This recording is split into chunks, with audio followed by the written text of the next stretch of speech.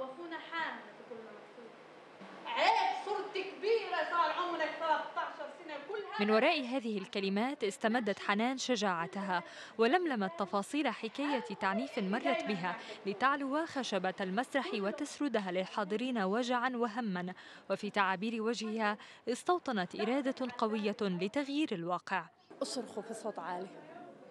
هاي رسالتي لكل امرأة معنفة لأنه صرختها رح توصلها لمحل كثير بعيد. الهدف من كتابة القصة اللي, اللي فيها عنف وفيها جرح كبير هو توعية توعية كثير من النساء اللي بيعانوا. هاي المونودراما إذا بتأثر على واحد من مية فهي آه، وصلت رسالتها. أنا أصريت وعندت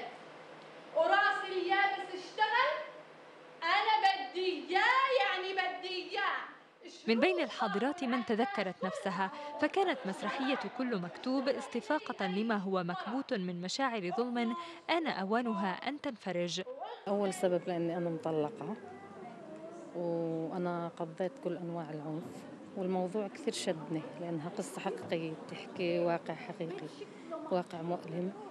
حلو الواحد يكشف الأشياء المعاناة اللي هو يا صالح محاطا بالجنس اللطيف ومصطحبا زوجته جاء ليصغي ويتشارك مع نساء مجتمعه مناهضته لآفة هي الأخطر وتكاد تفتك بأسر عربية عديدة.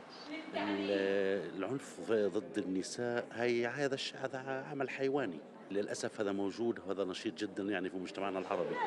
كل هنا لامس أو سمع أو عايش تجربة عنف مجتمعي وهذا النوع من الفن الشجاع ما هو إلا خطوة تعبر عن رفض قاطع لآفة تغلغلت في بيوت كثيرة ولن تنقطع خيوطها دون ما نشر وعي كبير بمخاطرها بين النساء والرجال.